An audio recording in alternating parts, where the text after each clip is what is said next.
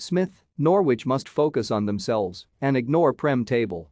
Norwich boss Dean Smith has urged his players to focus on their own performances and ignore the Premier League table.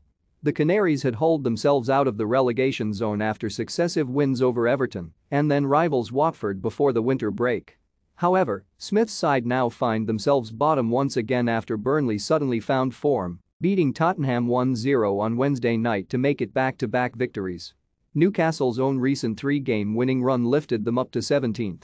Yet they along with the likes of Everton, Leeds and even Brentford, just four points clear of the drop zone, will be having an anxious glance over their shoulder.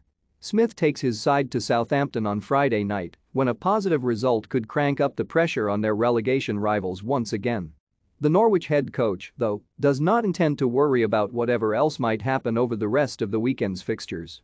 I was watching Afterlife on Netflix on Wednesday night, so I did not really find out the Burnley result until later, said Smith.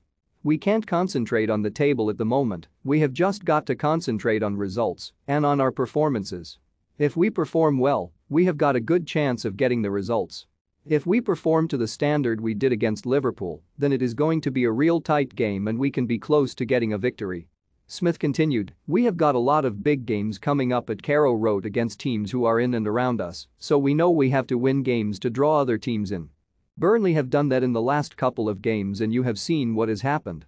We are not concentrating really on other results, we are just concentrating on ourselves and hopefully force some of those other teams in.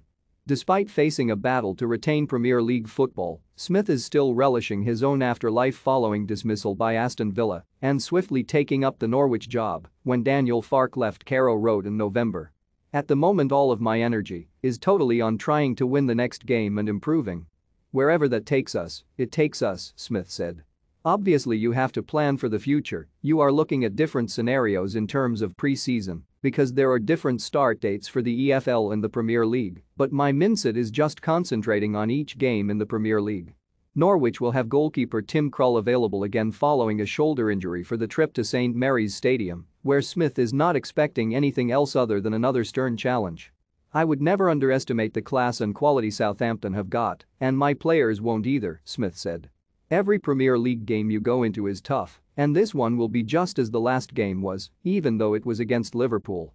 We have got to make sure that our performance levels are really high because that is the only way we can get victories.